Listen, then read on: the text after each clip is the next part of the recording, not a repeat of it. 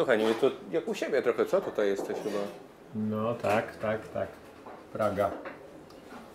Tu się urodziłem, tu mieszkam. Choć nie tu blisko, ale tam troszkę dalej, na Grochowie. No to jest yy, rdzeń. To jest korzeń mojego W ogóle życia. strasznie tu dzisiaj, to zawsze tak jest taki ruch jak dzisiaj? W sensie, wiesz, drzwi się otwierają, zamykają. No, jeśli chodzi o to miejsce, w którym jesteśmy, to jest tutaj rzeczywiście gęsto, bo jest tu bardzo dobre jedzenie i nie tylko. Jest czym popić też. Ale yy, w tym miejscu często jest dużo ludzi. Ale na Brzeskiej, żeby było tak jak dziś ruchliwie, w sensie ilości aut i tego, co się dzieje, ostatnio. Chyba stała się modna, może Praga albo nie wiem, może, może już mamy dosyć tego plastiku i tego no, fast foodu życiowego. Potrzebujemy czegoś rdzennego właśnie, coś korzennego. No ale gadaliśmy o, rozmawialiśmy o Pradze i powiedziałeś, że yy, jakby no, ludzie szukają czegoś prawdziwego, nie? I czy ty widzisz coś takiego, że, że ludzie zapuszczają się na Pragę, bo po prostu chcą tu coś zobaczyć, wiesz, chcieliby tutaj coś przeżyć, zobaczyć, zrobić chociaż zdjęcie. No właśnie, co tutaj takiego jest, unosi się w powietrzu? No nie wiem, czy to chodzi konkretnie o Pragę w takim sensie dokładnym. Myślę, że to chodzi o to, że najciekawsze zachowuje się na obrzeżach. Yy, no, dzisiejsze życie yy, jest szybkie, jest wyzbyte mm, ozdobników, różne rzeczy musimy robić tak po prostu jakoś inaczej, bez y, namysłu często. Y, no Tutaj żyje się trochę wolniej, po pierwsze. Po drugie, mm, myślę, że to nie jest może jakiś przejaw patriotyzmu. E, Myślę, że może bardziej swawoli, że ludzie tutaj, szczególnie młodzież, nie bardzo się y, daje socjalizować do y, różnych planów urzędniczych, co do kultury tego miejsca. Było tak zawsze zresztą, bo po wojnie, podobno właśnie pierwszego planu, chyba trzyletniego czy sześcioletniego, też właśnie Praga wszystkie dzielnice wyrobiła, a Praga jednak nie. Czyli tutaj był taki, nie chcieli, tak? Opór. Ale ja nie sądzę, żeby to chodziło o y, komunę i o nową władzę. Oni mieli starą władzę, jak i aktualną tamtejszą władzę, jak i dzisiaj w głębokim poważaniu. Brzeska to jest jedyna ulica, na której nie ma parkometrów, parkomatów. E, Nie wiem, czy zauważyliście, zauważyłeś. W takiej bliskości y, stacji metra, żeby można było parkować bezpłatnie, tylko tutaj. E, Gdyż y, nie uchował się żaden, mówię poważnie, to nie jest y, kwestia do kamery, tylko to są prawdziwe fakty, autentyczne. Każdy, który postawili, trwał tylko jedną dobę, prawda? Więc myślę, z tego ludzie tutaj są, żyją swobodą żyją wolnością, na granicy bezprawia albo nawet poza tą granicą. Może to jest ciekawe dla ludzi, którzy żyją życiem korporacji i muszą tak zawsze po prostu po kwadratach czy prostokątach w życiu i w pracy. No, może to jest powód. Myślę, że może jest jeszcze inny powód, jakiś taki bardziej ideologiczny, że, że e, tradycja właśnie, że coś, co jest takie rdzennie warszawskie, to trzeba to docenić wreszcie, bo tak wszyscy o tym mówią. Nie wiem. A co miejscowi mówią na to, jak widzą tutaj ludzi z aparatami krążą, wiesz, jakieś może pewnie i wycieczki przychodzą? A, bardzo dużo ludzi przychodzi, którzy, turystów, którzy oglądają i jeżeli klient się dobrze zachowuje, to nie ma żadnych problemów. Warszawa zawsze to był bukiet różnych ludzi i to nie jest prawdą, że na Pradze y, możesz się spodziewać nieżyczliwości y, albo że cię ktoś obrobi za szybko. Hmm. Jeżeli jesteś nieuważny, jesteś frajerem albo nie umiesz się zachować, nie umiesz powiedzieć dzień dobry na podwórku, no to rzeczywiście możesz się spodziewać, że będziesz traktowany jakoś inaczej.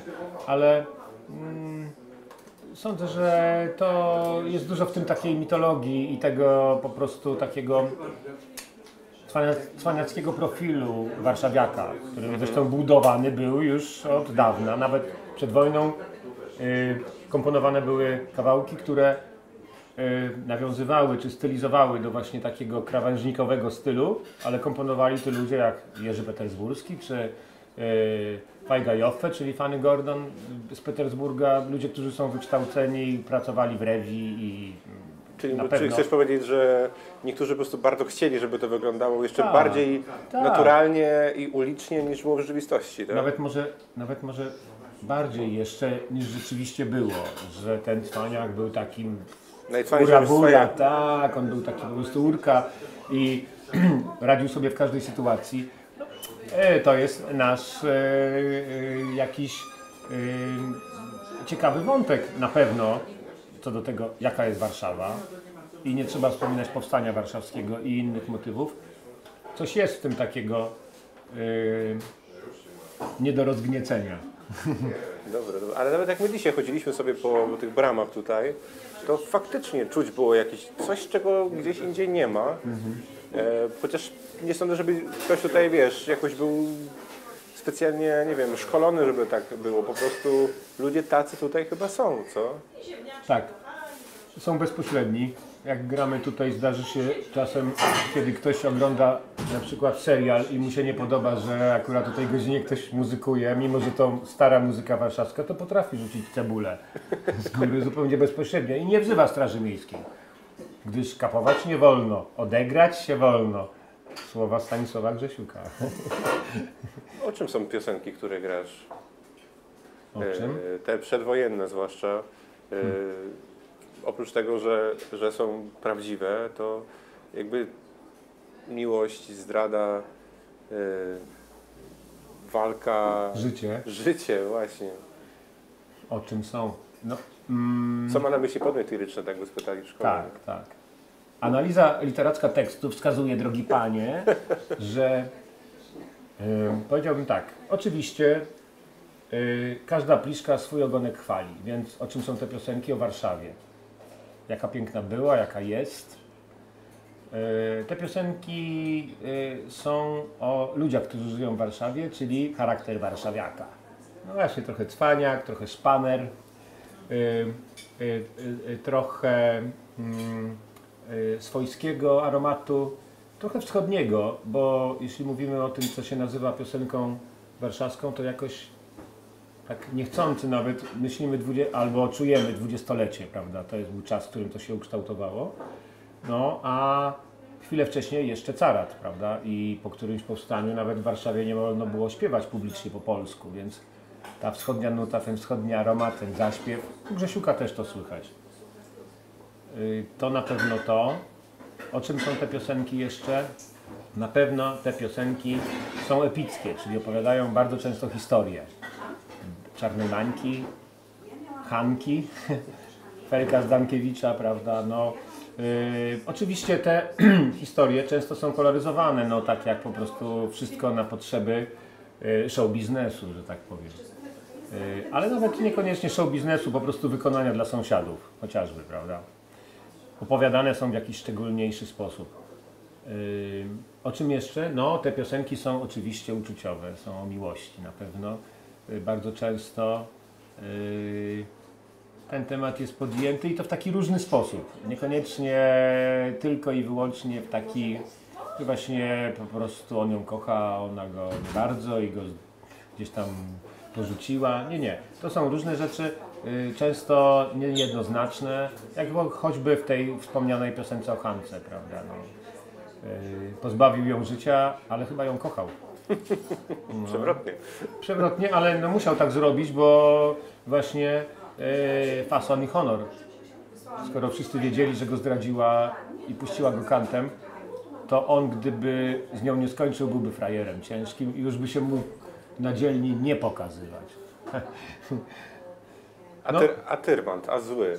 Jak to, jak to dla Ciebie się wpisuje, wiesz, tak prywatnie? Tutaj, Aha. wiesz, nie, nie oczekuję analizy jakiejś naukowej, bo nie od tego też jesteśmy, nie? Ale... Ja się na tym nie znam za bardzo, tak powinienem pewnie więcej czytać, tak swoją drogą, ale złego czytałem oczywiście i dzienniki i uważam, że wpisuje się w ten temat y, idealnie, to znaczy ja jestem rocznik 62, czyli y, bezpośrednio powojennych czasów nie pamiętam, y, ale ten klimat jak to było u cioci na imieninach, to jeszcze pamiętam trochę. Jeszcze pewne rzeczy się zdarzały, jeszcze podwórka były niepokłódkowane, nieobramowane. Y, jeszcze był y, facet, który ostrzył nożyczki, przyjeżdżał ze swoim sprzętem. Myślę, że y, już w tamtych czasach to trochę było wspomnienie, ale to było też po wojnie coś, co chcieliśmy bardzo uratować.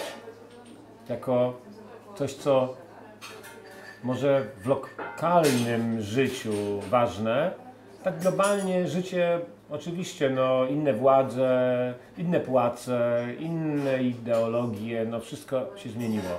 Ale to, a w takim podwórku nie bardzo. Sąsiedzi zostali sąsiadami, nawet jeśli się zmienili, no żyjemy razem, y, kupujemy warzywa w tym samym kiosku i tak dalej. Y, ta swojskość i to, co jest takie lokalne, y, jest podstawą naszego życia. Nawet jeżeli ktoś działa globalnie, no to po prostu jest też lokalsem. Gdzieś mieszka w końcu, nawet jeśli jest Europejczykiem.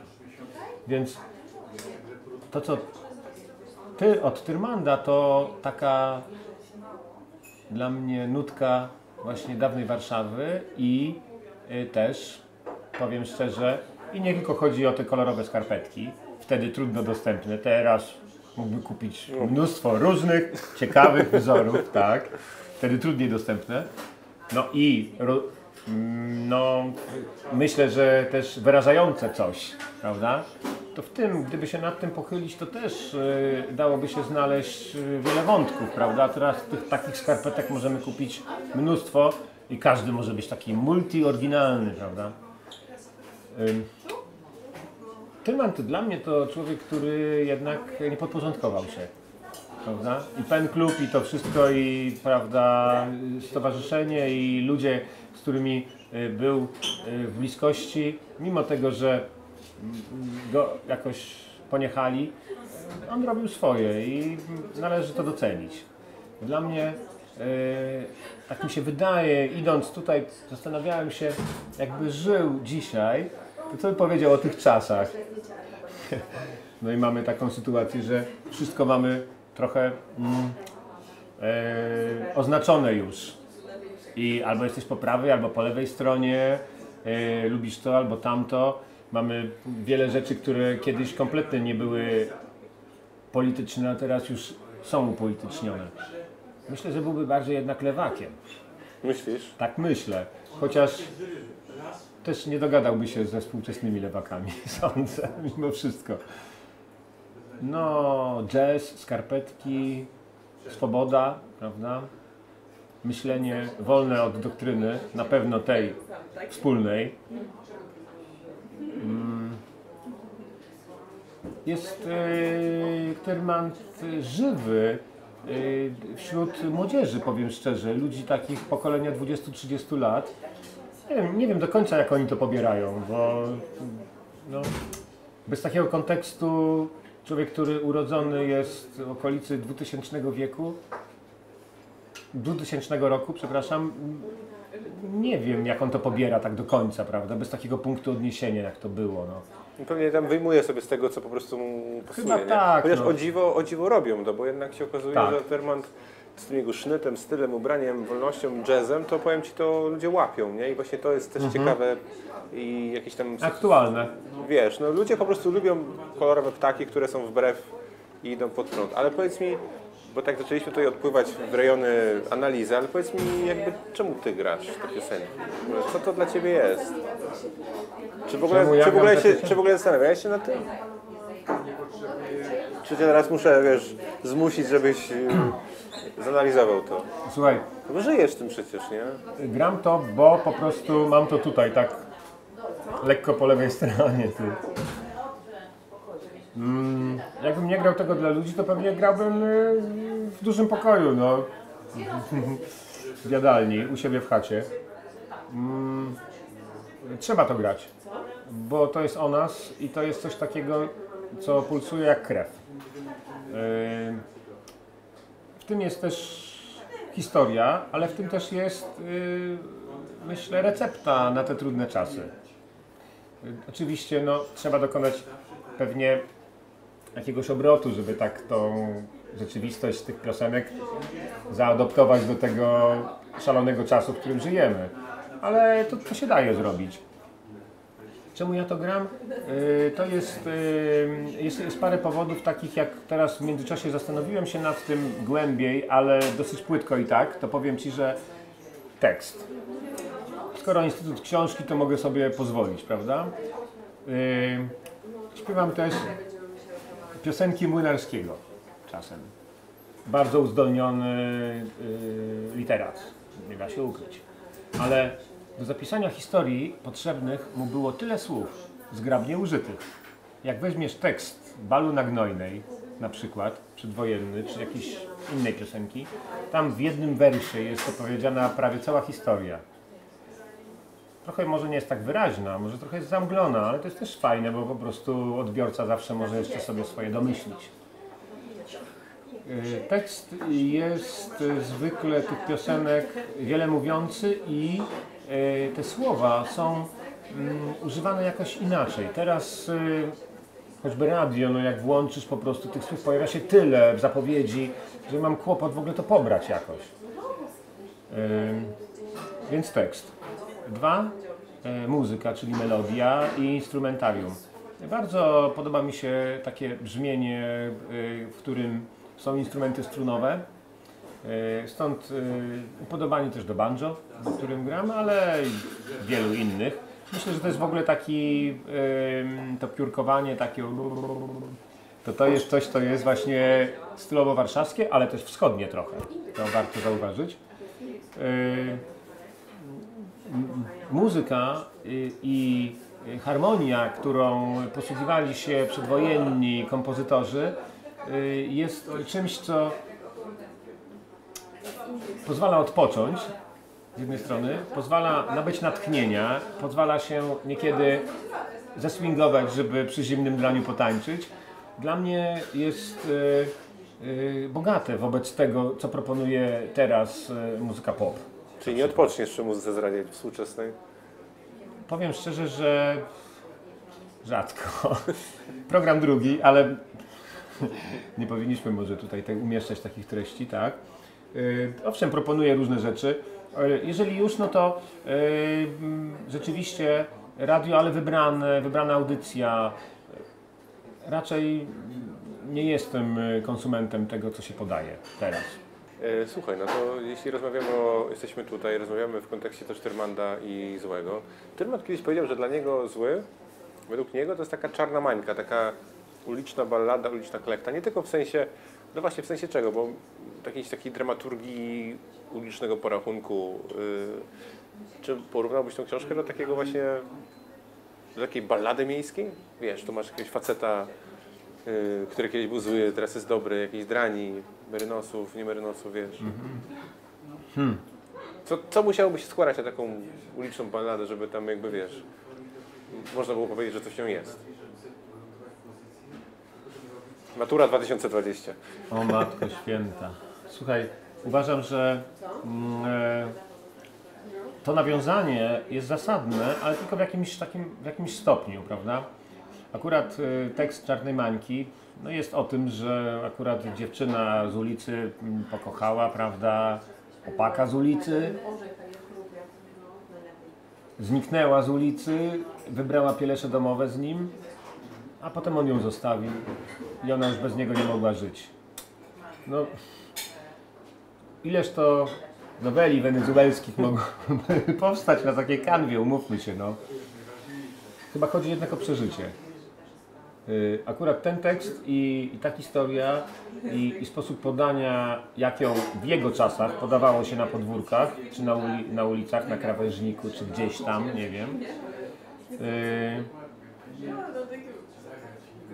Myślę, że to jest y, przede wszystkim mm, coś, co wynika z przeżycia i wynika z za, takiej zakorzenionej uczuciowości, która no, hmm, dzisiaj y, powiedziałbym przeżywamy uczucia, ale one są no, mm, w wielu sytuacjach okazuje się y, tak wekslowane, tak niejednoznaczne, tak tyle zależy od tła.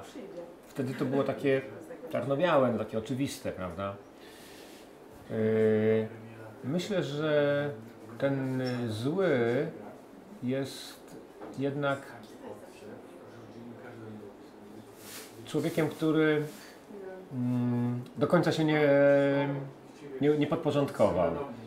Ja przynajmniej tak to pobieram i jest mm, proces socjalizacji, przystosowania, prawda? Dziecko małe uczy się społeczeństwa. Mamy dorosłego, który to społeczeństwo już umie, wie jak się zachować, ale ma swoje myśli. I to społeczeństwo chce go nauczyć, tak jak wtedy jego, przystosowania, nowego porządku. Owszem, on się przystosowuje, ale w środku chyba nie. On będzie zawsze dążył do tego. Y, Akurat bohaterka, rzeczona Mańka Czarna, w końcu kończy życie i kończy się to nijak. Y, Tłum może tylko opłakiwać y, jadący karawan. Y, Jakieś czasy mijają. Y, mm, Myślę, że to, że spotykamy się teraz, to też jest zapis czegoś, co jest na brzegu już i za chwilę deweloper i y, renowacja miasta, prawda, i nowe kamienice, nowi ludzie też. 300 mieszkań, zamieszkają tam jacyś inni ludzie niż teraz mieszkają. Więc y, mm, chyba to jest raczej, ja przynajmniej tak czytam y, i może nadinterpretuję, to manda jakaś tęsknota do tego, co Nie, było. to wiesz co, to bardzo wszyscy z kim rozmawiamy, rozmawiamy mówią, że, że tak, że właśnie chodzi o, o nostalgię, o tęsknotę Mhm. do świata, który był. Sentyment trochę może tak. O, Z jednej strony do, do, faktycznie do Warszawy, którą on, on, on z kolei miał sentyment do tej Warszawy sprzed wojny, a wtedy już ta Warszawa też, zwłaszcza w centrum, znikała. E, a my mamy sentyment do jego sentymentu za tamtym sentymentem tak Tak. naprawdę, nie? Tak. Mm. Tak to pobieram właśnie. No. ym, jak patrzeć ym, na to, co się teraz dzieje, to sądzę, że ym, z czasem nawet myślę, że to będzie zyskiwać yy, popularność, ten sposób myślenia i te, i te powroty właśnie, jak mówimy, do sentymentów, sentymentów naszych dziadków. Ale to zajmie, to zajmuje w popkulturze pewne miejsce i jednak chyba niszowe, no nie da się ukryć. Wielu ludzi czerpie z tej kultury tradycyjnej Warszawy i muzyków, i literatów, i filmy y, są robione, mm, które gdzieś sięgają do tego. Czas pokaże, do czego ten, proces doprowadzi, ale na dzień dzisiejszy y, ja jestem raczej optymistą. To znaczy, pewne zjawiska zniknęły. Tak? Muzyka podwórkowa za czasów pana Leopolda istniała. Teraz nie mamy podwórka tak swobodnie dostępnego, żeby kapela mogła wejść i zagrać. No ale ja Cię przepraszam, jak ostatnio przed chwilą, nas, jak kręciliśmy zdjęcia do tego filmu, złapała nas burza, grałeś w bramie, do tej bramy się schowali ludzie, tak jak od lat się ludzie chowają w bramie z różnych Tak. powodów, na przykład przed deszczem i Ty zacząłeś grać oni tam stali i Tak. Cię słuchali. Tak, tak, tak było. Ile jest takich bram w Warszawie, tak, gdzie możesz tak swobodnie wejść? Naprawdę, tutaj mamy nieustaloną własność, sprawy prawda, majątkowe i tak dalej. Póki co nie ma pilota, nie ma kodu, ale za chwilę tak, za chwilę to już będzie, a jeżeli nie będzie, no to y, coś innego tam się stanie. Może Dom Kultury, może coś innego. Natomiast y, no, nie ma takiej sytuacji, która była. Teraz tę muzykę y, gra się na festiwalach różnych, gra się ją w knajpie, gra się ją owszem na podwórku, ale o dziwo Europa jest Europejski Dzień Sąsiada i ludzie zapraszają Cię, żebyś muzykancie przyszedł pograć tam. No. Ale to nie jest ta sytuacja, kiedy po prostu przychodziła kapela, prawda? Yy, trochę groteskowe, trochę paradoksalne takie czasy. Yy, z- tej y, nuty takiej rdzennie warszawskiej, tradycyjnej, owszem, y, korzysta wielu współczesnych y, kompozytorów, komponowane są takie kawałki, no, które gdzieś w jakiś sposób nawiązują do tego. Czy Czesław Mozil, czy Adam Struk, czy nie wiem, no wielu wykonawców, Justyna Jary. Komponowane są, sty, stylizowane właśnie, takie historie podwórzowe trochę. Ale czy ja wiem, czy to tylko w Warszawie, czy we Wrocławiu nie mogła być zagrana taka ballada? Nie wiem. Wydaje mi się, że też. Ale wiesz co, jak mówiliśmy właśnie o, o tym, że chyba wiem o co Ci chodzi, w sensie, że kiedyś to naturalnie wynikało z życia, a dzisiaj to jest, to, to dzisiaj o 18 będziemy odtwarzać dawną Tak. muzykę dawną, tak? Tak, ktoś przyjdzie, jest impreza, to jest zrobione, to jest po prostu ma zupełnie inny przebieg. Nie ma żywiołu, nie ma spontaniczności. No ale Ty dzisiaj byłeś właśnie spontaniczny. No tak było, to dzięki Wam. No ale to wiesz, no jakby... To się zdarza, tak, to się zdarza, ale to nie jest y, regułą, prawda? Y, kiedy mam wolny wieczór y, i mam chęć pograć i jest tak po prostu ładne popołudnie i, i chciałoby się gdzieś wyjść, no to oczywiście w miejscu, w którym uprzedzę, że będę i po prostu, czy też potrzebują mnie, tak. Ale jeżeli wezmę instrument i tak bym przyszedł sobie tutaj pograć, reakcje mogą być różne. Najczęściej spotykam się, szczerze mówiąc, z dobrym odbiorem, ale zdarzały się sytuacje, w których y, po prostu ludziom to przeszkadzało, bo mają inne rzeczy. W czasach Tyrmanda, żeby kapela, żeby posłuchać takiej muzyczki, to umówmy się, trzeba było gości zaprosić.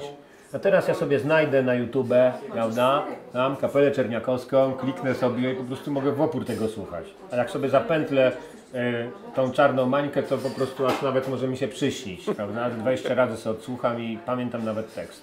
No więc